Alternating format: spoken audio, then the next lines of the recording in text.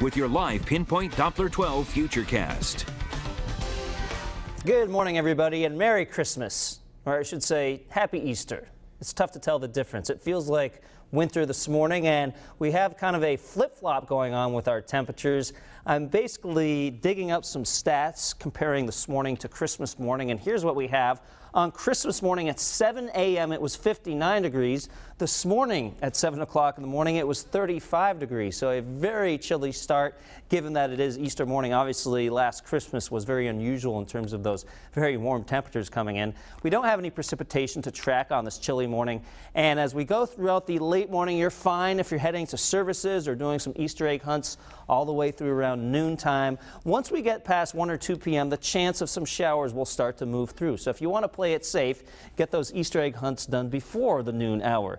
As we head into the afternoon, it's not raining the whole time, but some scattered showers at times, and even potentially a few heavy showers are possible. As we go deeper into the afternoon and evening, this is around 6 p.m., even an isolated thunderstorm and some gusty winds are possible. So just keep that in mind if you're out and about later on this evening. And then as we head to the overnight hours, even by midnight, still the chance of some showers. Initially, I was a little concerned about some snow mixing in with these showers, especially to the north and west of 295, but it looks like most of our data is pushing the rain snow mix to the north of the Mass Pike. So I'll just leave in the forecast some chilly rain showers overnight tonight through early Monday morning.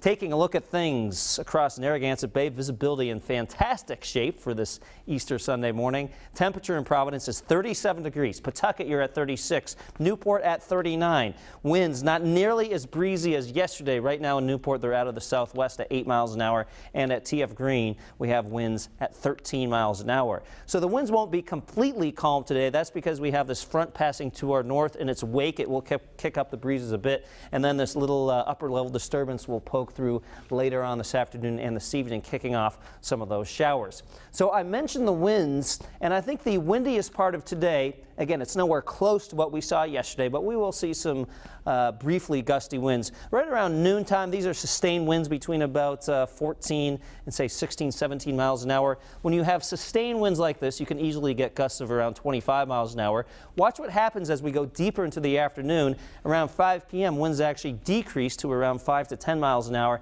Now, obviously, if you happen to be underneath an isolated gusty thunderstorm during the evening, winds could temporarily get stronger, and then overnight, winds not that big a deal between about 5 to 10 miles an hour. So the Easter Bunny not happy with the chance of showers, trying to stomp them out, but not having too much success. At least we do hit that high of around 50 late morning into the early afternoon, and then the clouds increase after that, and temperatures drop back into the 40s. The Eyewitness News Threat Tracker keeping us in the low category throughout today, tonight, and into tomorrow. Although we'll keep an eye on the chance of some of those heavier showers and maybe an isolated thunderstorm this afternoon and this evening. You can keep uh, tuned on WPRI.com on your mobile device throughout your Easter Sunday. Always a good idea.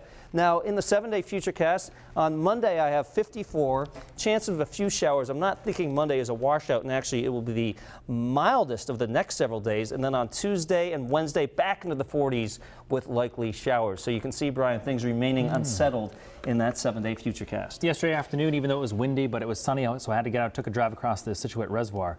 Still a lot of ice there. Yes, you know, it's good that we have a lot of above freezing high temperatures. We yes. need to do more melting, but yeah, the snow not completely gone just yet. I was surprised to see that. Yep. All right, Pete, thanks so much. Covering New England for you this morning, human remains were discovered in a duffel bag in Cambridge Saturday. Now the Middlesex County DA says police have already arrested a suspect. That person is now charged as an accessory